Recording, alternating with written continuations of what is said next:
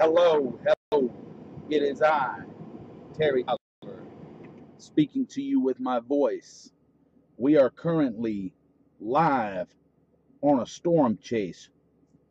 If you can look visually right here, you will be able to see thunderstorm anvils of a complex of thunderstorms that are forming across a moderate risk area.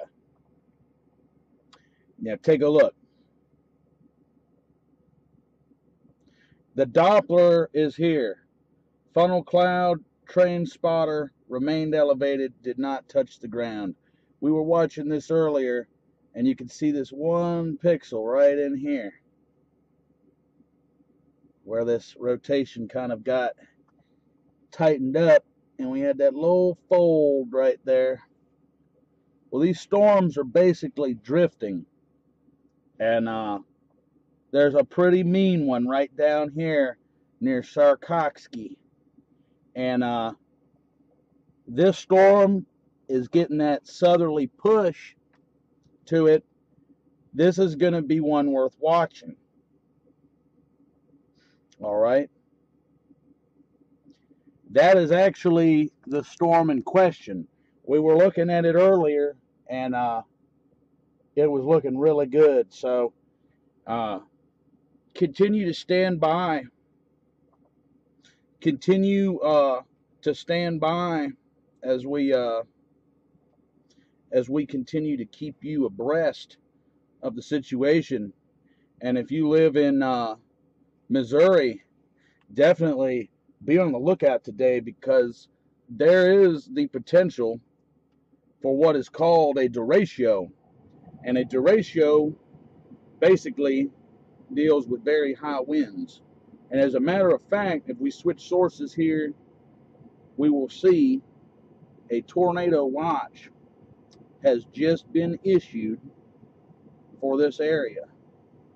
So if you live in Springfield, you live in Columbia, you live uh, in Joplin, you live anywhere in central Missouri, and particularly later on tonight, as you start looking into, for example, western Kentucky, northern Tennessee, when these things form into a line, you're definitely going to want to be abreast. So if we can cut in and stream, we will. If not, go ahead and follow me, Mid South Chasing, on Twitter, Mid South Chasing.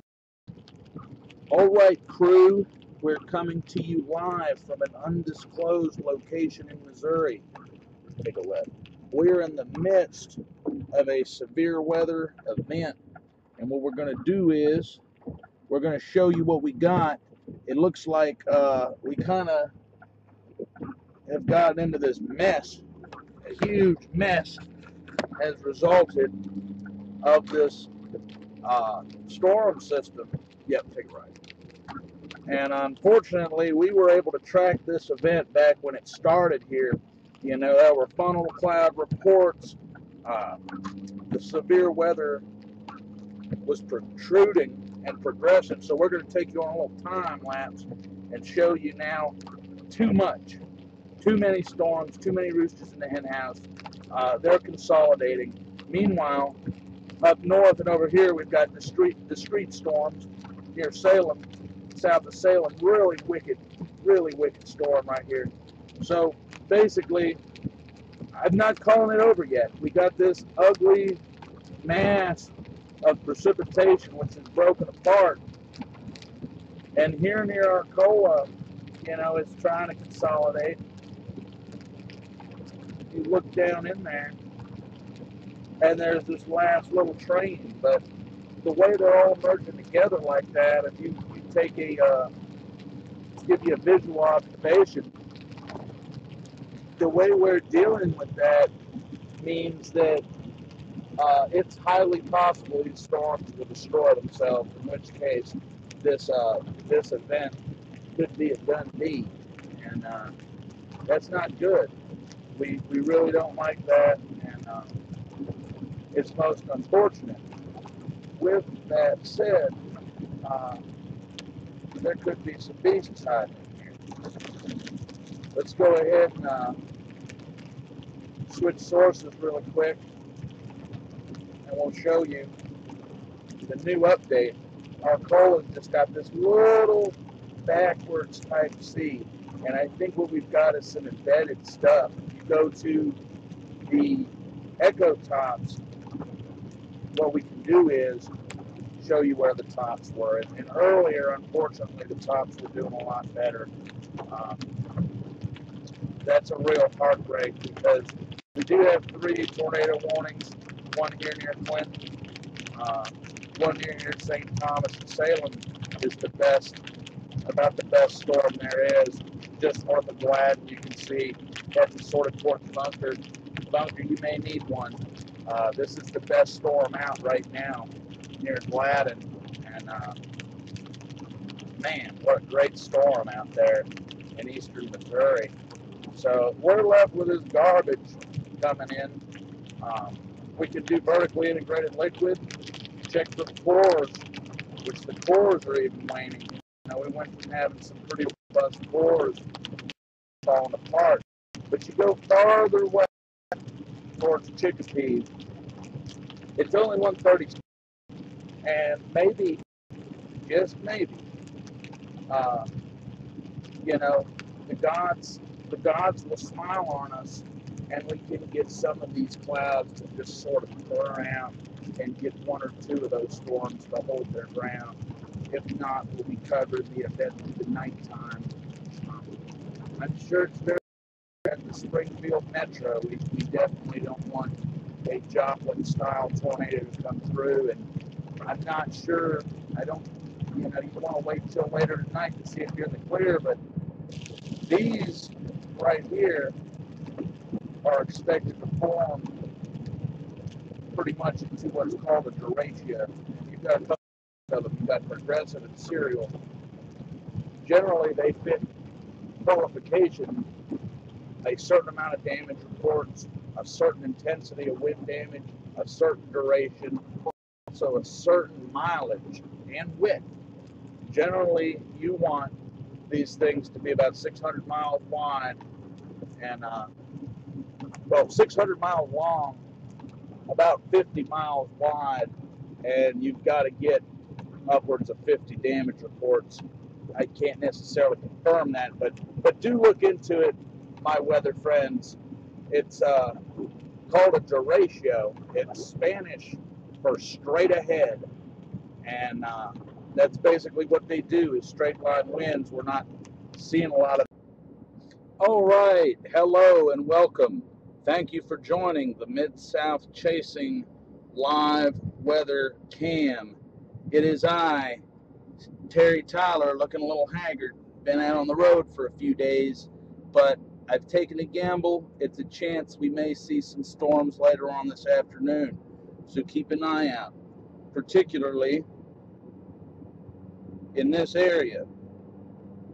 We have basically a dry line, which is where these potential thunderstorms, or in this case, just some little wisps on the radar screen, are moving from west to east. They do not look like much now. But if you look at this thing right here, it's a very faint little wave sitting here. This is the northern periphery of this this uh, dry line cold front type feature. I'm still learning a lot about meteorology, so uh, this is one of the regions. These are secondary thunderstorm development from the area where we were near Spring earlier today. We missed the tornadoes here uh, near Marshfield um, near Falcon, unfortunately. We were close, but uh, no way we could have made it up there. And these appeared to be the kind that form on the front of this strong uh, MCS type system. And here we have it again more thunderstorms in the same area that have been developing. It was actually so hot, the instability, that, that these storms have actually reformed and regain severe thunderstorm warnings going right back towards Springfield. So you say, what's going on here? Well, per SPC mesoscale discussion, Uh, 6,400 joules per CAPE. They're expecting explosive development in Oklahoma over the next couple hours. You can see 93 degree temperature, 76 degree dew point. Now, um, some of these earlier discussions, if you look at the actual models, this is near historic instability. In one of the SPC discussions, they talked about, pardon me, this uh, graphic is not displaying. Okay, they were talking about this being compared to May 27, 1990. All right, crews, family members, agents, and disciples from both sides of the law. It is I, Terry Tyler, here to take you live on the storm. Here is our front facing cam. And as you can see, we are approaching the storm. Now, if you have any questions, feel free to put them into the chat bar below. All right, time for a weather brief. We had moved around up here and we saw many storms that had formed and they were forming along the sag.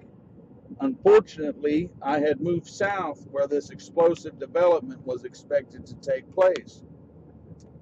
As you can see here, there's been a couple of tornado warnings, a couple of strong thunderstorms that have literally formed sagging south down this boundary, complete and total redevelopment toward the Springfield area.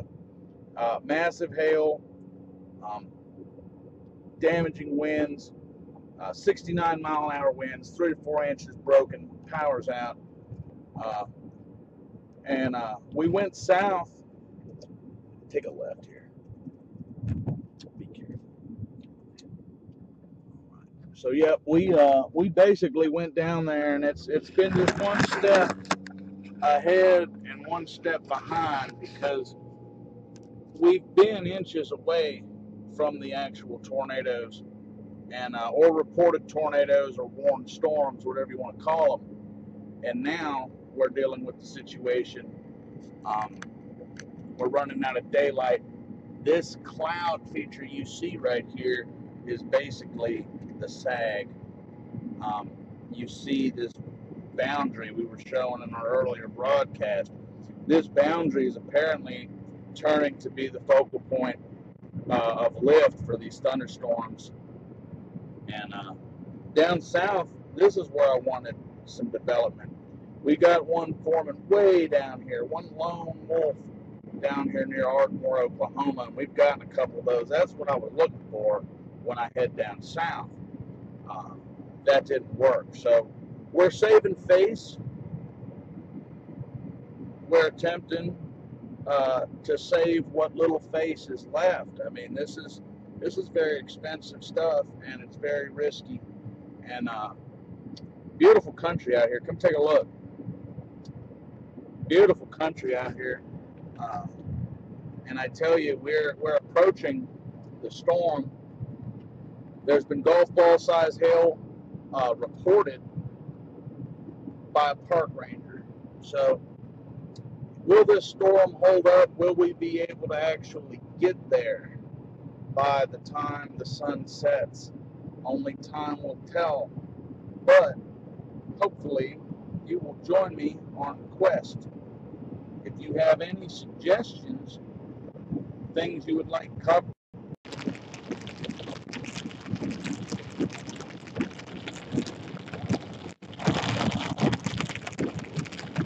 here you have it, We're basically trying to get out ahead of this storm. We've already got some pictures of. You didn't get to see it earlier, but hail producing storm. We got some hail out of it. And here's the one we've been waiting for. Out of the blue. Down park. But we may get a few hailstones out of this thing. Nothing too major.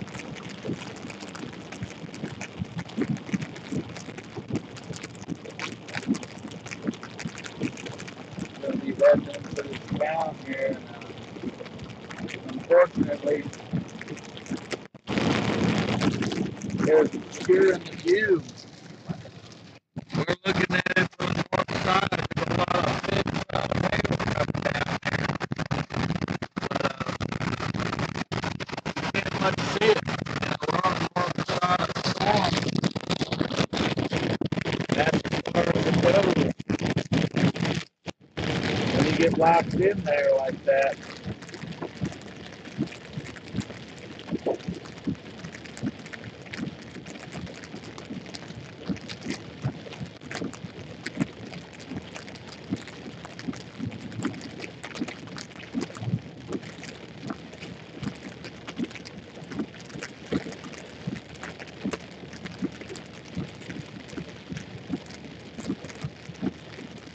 So yeah, that's about it. I mean, pretty much ain't worth showing you, but I figured, you know, we follow up. Pretty new to this whole online streaming thing, so uh, yeah, we're out here taking a look. You want to take a head on? Take a head on real quick.